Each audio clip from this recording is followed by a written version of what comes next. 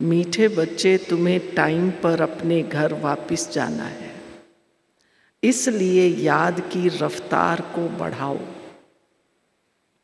इस दुख धाम को भूल शांति धाम, सुख धाम को याद करो। प्रश्न, कौन सा एक गुहे राज तुम मनुष्यों को सुनाओ तो उनकी बुद्धि में हलचल मच जाएगी?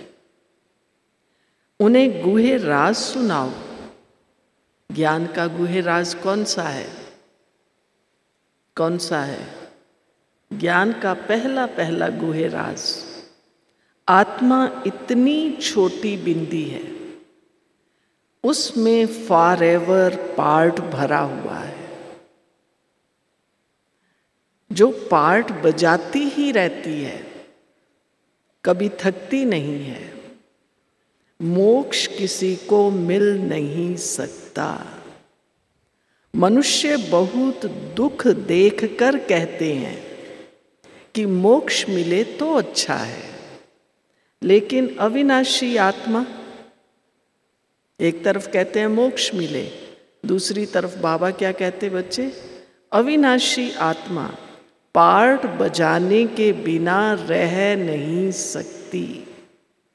इस बात को सुनकर उनके अंदर हलचल मच जाएगी।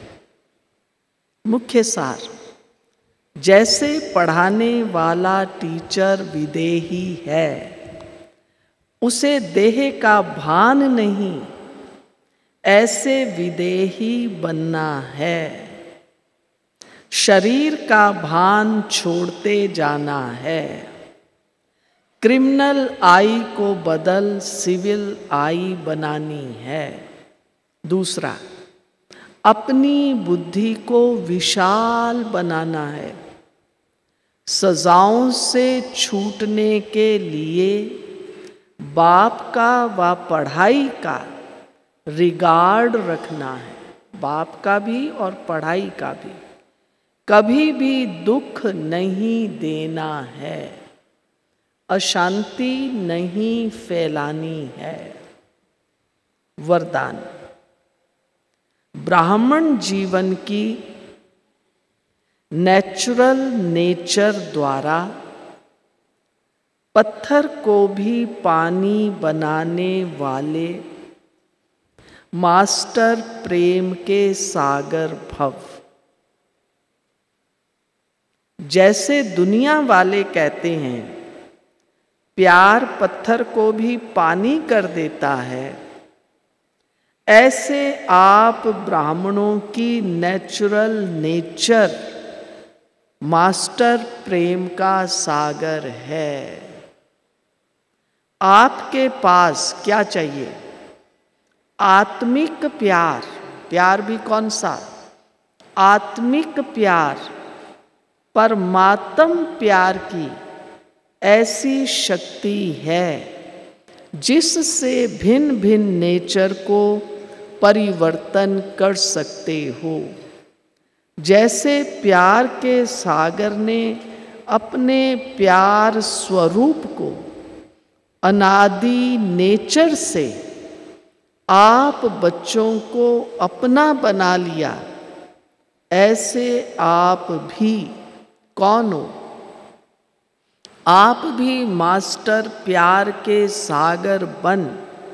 विश्व की आत्माओं को सच्चा, निस्वार्थ, आत्मिक प्यार दो तो उनकी नेचर परिवर्तन हो जाएगी।